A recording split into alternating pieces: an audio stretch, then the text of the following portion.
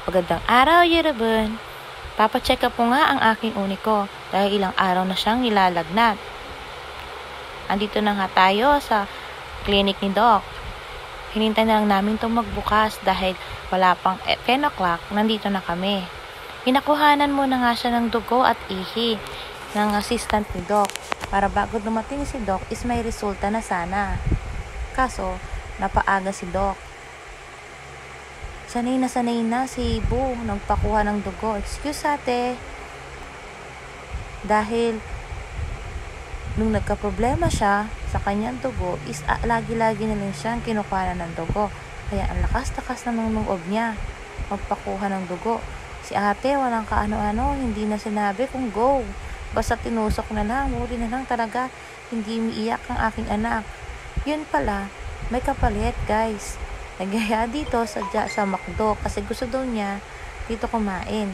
Ayan ang kapalit ng kanyang pagtusok.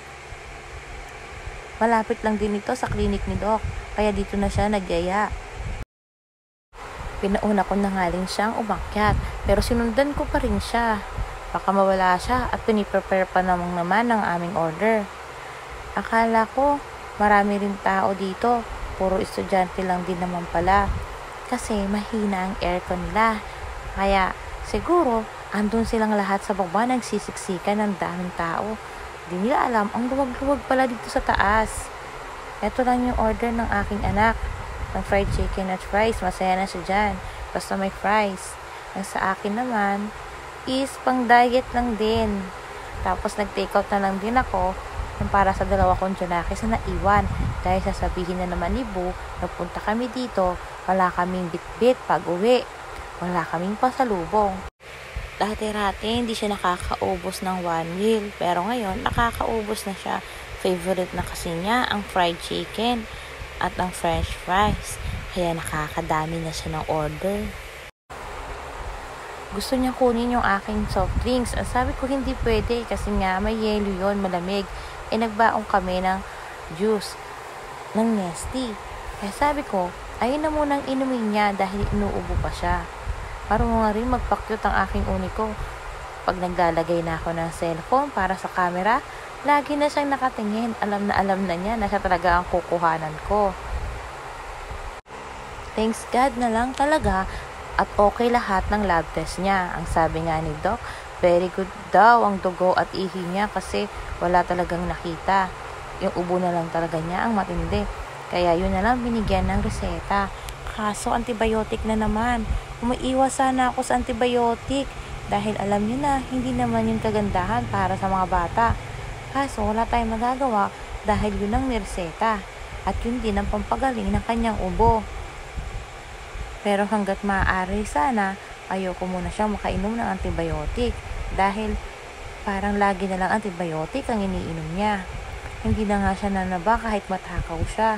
Konting sakit lang, mas marami pa ipapayat niya kaysa sa itataba niya ulit. Di ko alam kung ganyan na talaga ang katawan niya.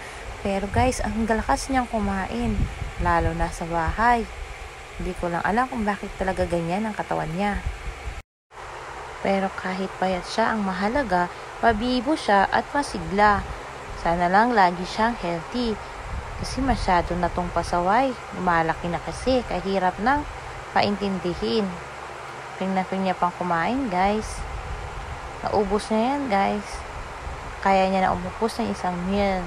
Lalo na't gutom siya. After nito, nagaya na rin siyang bumili ng mga baon nila. Hindi kasi pwedeng laging bumibili sa labas mas namamahalan ako. Kaya every now and then, pag nagpupunta kami ng bayan, is namimili ako ng baon nila. Kasi, feeling ko, mas nakakatipid ako pag minsana ng gastos kaysa yung lalabas ka ng lalabas para bumili.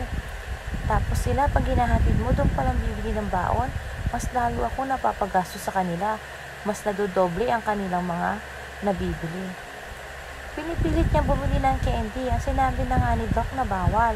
Ang tigas talaga ng ulo ng anak ko. Ito na lahat ang napamili namin. Hindi kami nabili ng marami ngayon kasi wala pa kami pera. At umuwi na din kami pagkatapos namin mamili. Magbabaha na pala dito guys sa sobrang lakas ng ulan. Hindi namin alam na uulan ng ganito kalakas. halos nabasa din kami sa loob ng tricycle. Pero buti nakatulog si Bu, tsaka nasa dulo siya, kaya hindi siya basa. Actually, ako lang talaga ang basa. Yan guys, ang lakas talaga ng ulan ngayon. Araw-araw na kasi umuulan na umaga. Buti na lang na malapit na sa amin is tumila na yung ulan. Pero wala na magagawa, basa na rin talaga ako.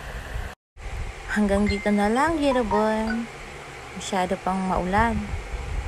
Kaya abangan nyo ang susunod na ating video. Maraming salamat. Kamsahamnida.